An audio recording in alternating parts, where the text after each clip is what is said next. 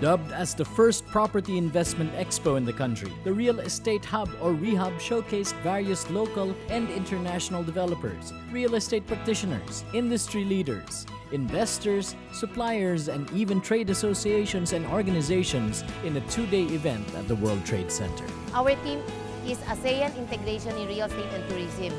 So to go local, which uh, give us to think globally and act locally. Yung theme nyo ngayon, local. Um, why is this important? Uh, right now, we need a foreign investor uh, to come in and to invest in our businesses. So we have many Filipinos uh, that can benefit uh, on this. There are a lot of exhibitors, over 100 of exhibitors.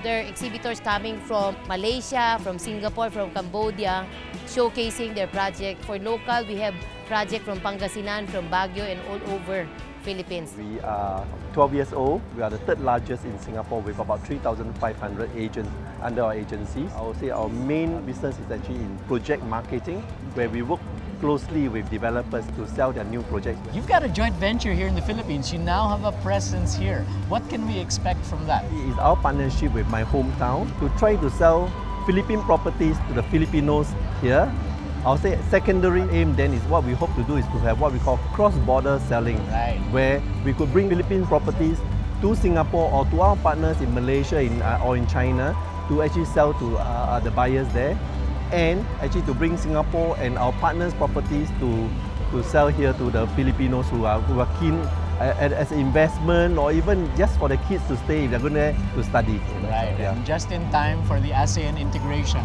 Lloyd, ano ba yung mga produkto nyo na talagang of interest to builders and homeowners? We offer eco-friendly solution as an alternative for creating green homes and buildings and our community. Apart from the opportunity to build networks, Rehub also served as an avenue for renowned professionals in the real estate industry to discuss topics in relation to the upcoming ASEAN integration. I think it's a very good initiative. It created a, a, a platform for the ASEAN integration, a platform for uh, the professions in the building industry, like architects, planners, engineers, brokers, real estate developers, and so on, coming together, and also for introducing the ASEAN integration. The key to the success in us joining ASEAN is preparedness and enhanced competitiveness.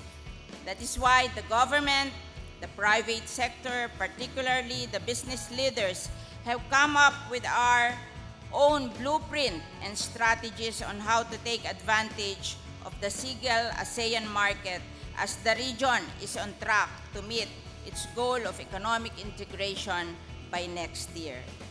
With only a few more months to prepare for the ASEAN integration in 2015, Rehub has definitely set a mark for our local real estate industry to be more globally competitive.